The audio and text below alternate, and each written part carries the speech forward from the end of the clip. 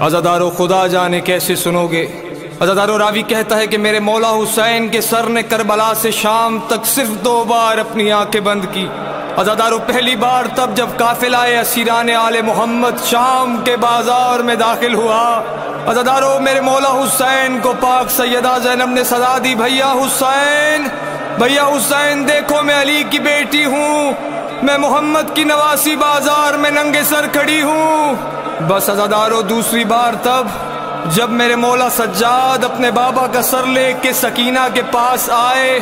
ازادارو سکینہ کبھی اس دیوار سے ٹکراتی تھی۔ ازادارو سکینہ کبھی اس دیوار سے ٹکراتی تھی۔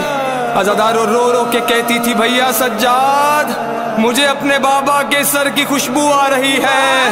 مجھے اپنے بابا کے سر کی خوشبو آ رہی ہے۔ ازادارو بس سکینہ نے اپنے بابا کا سر اپنی گود میں رکھا۔ ازادارو بی بی نے بابا سے کلام کیا، بابا، میرے بابا، آنکھیں کھولو، دیکھو، اپنی سکینہ کو پہچانو۔ بابا، ظالموں نے مجھ پہ اتنے ظلم کیے، میری آنکھوں کی بینائی جا چکی ہے۔ بابا، میرے سر کے سب بال سفید ہو چکے ہیں، میں ضعیفہ ہو گئی ہوں۔ بابا، میرا زندان میں دم گھٹتا ہے، مجھے اپنے ساتھ لے چلو۔